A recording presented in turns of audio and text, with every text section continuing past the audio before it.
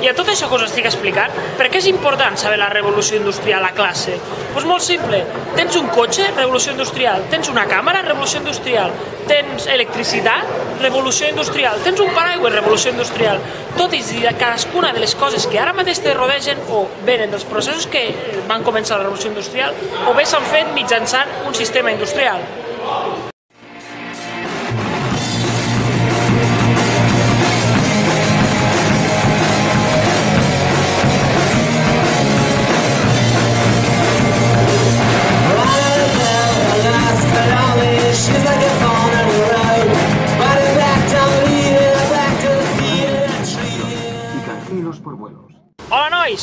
Estic a Cotton Polis, és a dir, a Manchester. És la primera ciutat del món on va començar la revolució industrial i es diu Cotton Polis perquè aquí, al llarg del segle XVIII i segle XIX, arribava una quantitat molt gran de cotó. Eh, té el clima idoni, com podeu veure, està plovent, eh, per tractar amb el cotó. Dic a un lloc encara més concret, el Bridgewater Canal. Aquest va ser el primer canal industrial del món i a partir d'aquí es van començar a fer un munt de canals, és el que es coneix com canalmania. Eh, un d'ells a França és el canal du Midi i aquí, molt a prop d'on estem ara, estaria el canal de Rochdale. Després dels canals, que servien per portar coses, per portar fustes, per portar carbó, ja es comencen a fer vies del tren, ferrocarrils. La primera connexió és aquesta, entre Manchester i Liverpool, perquè a Liverpool, com hem vist a l'altre vídeo, arriben un munt de productes que es porten cap aquí a Manchester on hi ha les, les fàbriques. Parlant d'on es treballava, doncs estem a Ancoats, és el primer barri obrer del món. Es va fer el 1790 i aquí hi havia molta gent d'Escòcia, d'Irlanda i de Gales. Eren els principals immigrants. Aquí, eh, vora el 50% dels nens de 5 anys morien per diferents malalties. Per tant, era molt important que quan el, el teu fill sobrevivia, no el poguessis ficar a treballar a la fàbrica, perquè ajudava el, el, seu, el seu salari. Treballaven sobretot dones i nens. Dir-vos també que la principal malaltia d'aquest lloc era la còlera. Que teniu mal de cap i no podeu anar a classe, tranquils, pitjor seria el que passava amb la còlera, anar al lavabo i deshidratar-te mentre estàs al lavabo. Però la història no hauria de ser explicada com uns molt bons i uns altres dolents.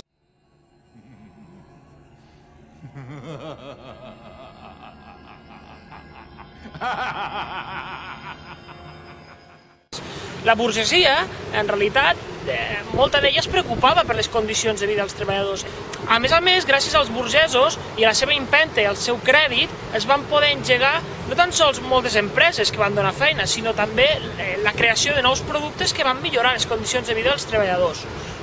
Però ara canviant de tema i deixant tot el tema històric de banda, us explicaré una mica això del Regne Unit. No? Estem a Oldham Street, que és un barri doncs, molt de música doncs, dependent, hi ha molts de bars amb música en directe, eh, hi ha eh, llocs on hi ha mangas, és, és molt semblant al barri de Gràcia. No sé si heu estat al barri de Gràcia a Barcelona. Eh, Dir-vos que el britànic eh, té un salari mínim de 1.300 euros i va pujant, mentre que els catalans i els espanyols tenim uns 600, entre 600 i 700 ara mateix. Això ja ho podríem parlar algun dia a classe, aquesta diferència. I què més dir-vos? Ah, sí, aquí veureu molts cotxes de Ferrari i Lamborghinis. Per què? Ve molt magnat del petroli de Qatar. És a dir, ve molta gent que treballa amb el tema del petroli, que és la principal font d'energia actual. Si durant la revolució industrial era l'aigua o el carbó, ara ho és el petroli.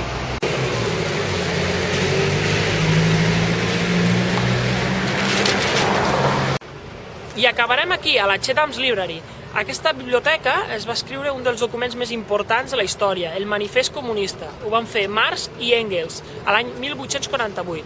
Aquest document responia al malestar de les classes treballadores i partia de diferents objectius. Un, que l'Estat planifiqués en economia, i això vol dir pues, regular la propietat, per exemple, és un estat planificador.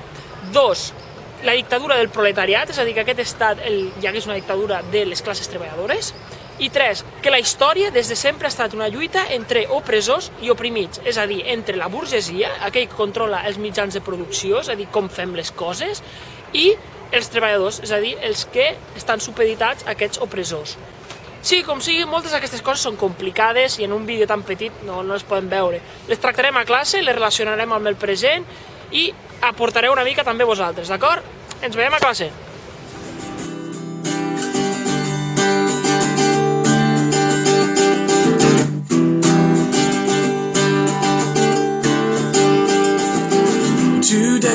Gonna be the day, but they're gonna it back to you. But by now, you should have somehow realized what you gotta do. I don't believe that anybody feels way I do about you.